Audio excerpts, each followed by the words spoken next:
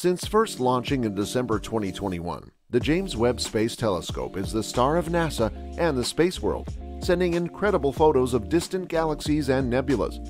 The photos of exoplanets surrounding faraway stars has opened our eyes and helped us better understand inhospitable environments on these exoplanets. However, besides Jupiter, the James Webb Telescope hasn't studied any other planet within our own neighborhood. That has all changed, however, as James Webb recently sent photos from Neptune. These new images of Neptune and its surroundings will blow your mind, so stay tuned and watch as we take a look at them in this video. But before we begin with the video, don't forget to like and subscribe to the channel. Turn on the bell for the latest notifications and updates. With that said, let's dig right into today's content. NASA's James Webb Space Telescope was recently focused on planets within our own neighborhood, and it didn't disappoint as it sent its first images of Neptune. The brilliance of the James Webb sent back the clearest view of this distant planet's rings in more than 30 years. The James Webb's cameras also reveal the ice giant in a whole new light. Most striking in Webb's new image is the crisp view of the planet's rings, some of which have not been detected since NASA's Voyager 2 became the first spacecraft to observe Neptune during its flyby in 1989.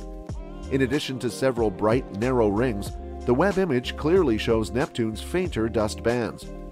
Heidi Hammel, a Neptune system expert and interdisciplinary scientist for Webb, notes, It has been three decades since we last saw these faint, dusty rings, and this is the first time we've seen them in the infrared.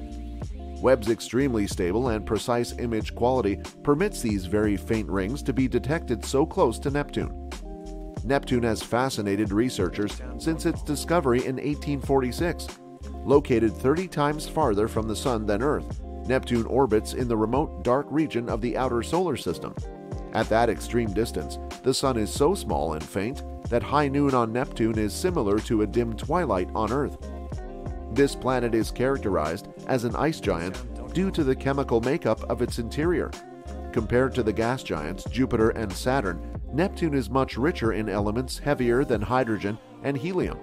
This is readily apparent in Neptune's signature blue appearance in Hubble Space Telescope images at visible wavelengths caused by small amounts of gaseous methane.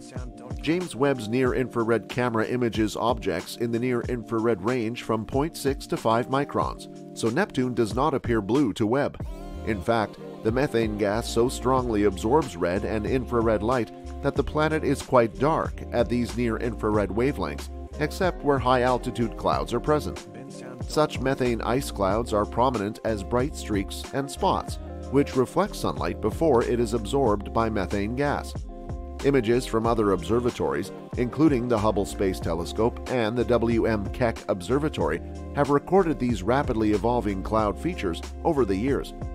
More subtly, a thin line of brightness circling the planet's equator could be a visual signature of global atmospheric circulation that powers Neptune's winds and storms. The atmosphere descends and warms at the equator and thus glows at infrared wavelengths more than the surrounding cooler gases. Neptune's 164-year orbit means its northern pole, at the top of this image, is just out of view for astronomers, but the Webb images hint at an intriguing brightness in that area. A previously known vortex at the southern pole is evident in Webb's view, but for the first time, Webb has revealed a continuous band of high-latitude clouds surrounding it.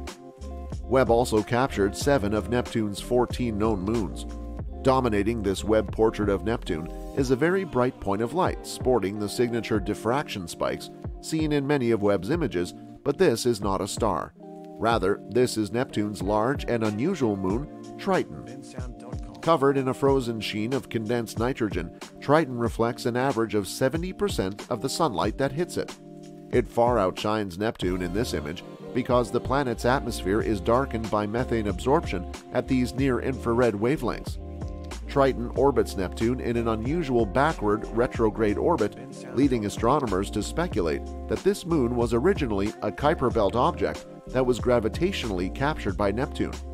Additional Webb studies of both Triton and Neptune are planned in the coming year. Astronomers will be able to measure the reflectivity of the rings using Webb, and more research could provide insight into their size and composition. Hammel, told the New York Times Jonathan O'Callaghan. I'm so happy that it has worked. I've been waiting so long for these images of Neptune. She added, I have not seen it in that level of detail since the Voyager encounter in 1989. It just pops right out. The James Webb Space Telescope is the world's premier space science observatory. Webb will solve mysteries in our solar system, look beyond to distant worlds around other stars, and probe the mysterious structures and origins of our universe and our place in it. Webb has a lot to uncover, and we are sure we can learn a lot more from the findings and images from James Webb. That's all for this video. Hope you enjoyed watching this one. Thanks for watching.